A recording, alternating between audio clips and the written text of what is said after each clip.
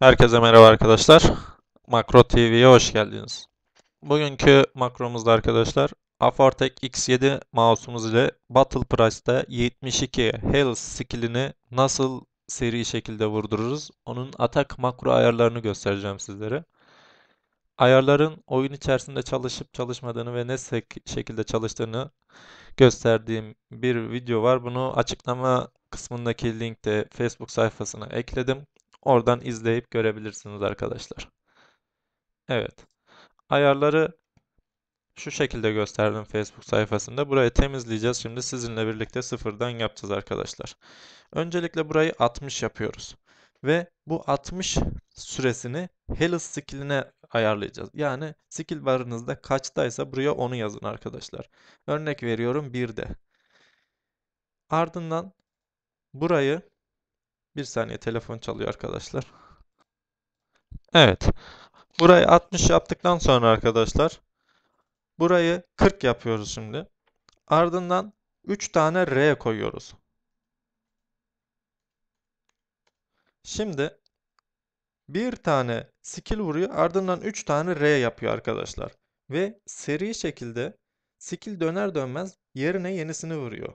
Burada 3 tane R olmasından dolayı yani 3R1 skill yaptığında skill'in dönme süresine tam tekabül ediyor bu 3 tane R olması arkadaşlar.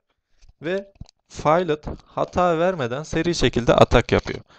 Şimdi bu makroyu nerede kullanabiliriz?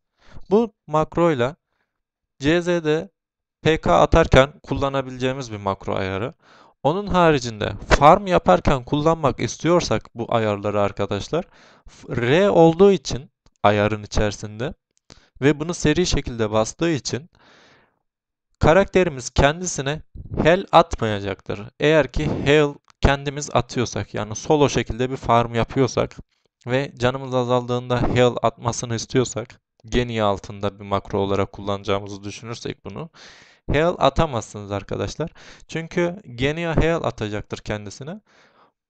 Makro programı yani bu yazılım buradaki yazdığımız şey izin vermeyecek. Devamlı R vurduğu için. Bu birinci olay. İkincisi buff artı AC atmayacaktır. Defansınızı, buff'ınızı atmayacaktır karakteriniz. Bunu şu şekilde kullanabilirsiniz. Parti içerisinde atak yapacaksanız eğer ve partide sizin haricinde bir priced buff ve heal işlerine bakacak birisi varsa bu ayarlarla farmda kullanabilirsiniz. Seri şekilde atak yapabilirsiniz.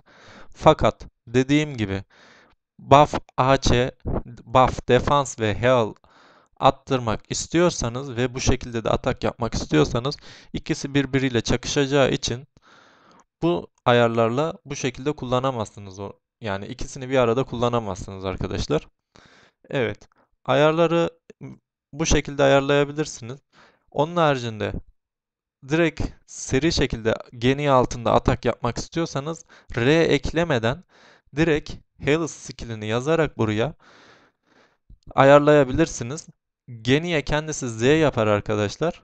R vurdurmadan Geniye'nin ayarlarıyla siz direkt skill vurdurabilirsiniz burada.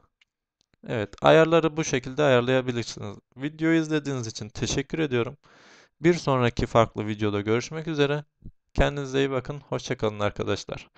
Videoya like atıp kanala abone olursanız sevinirim.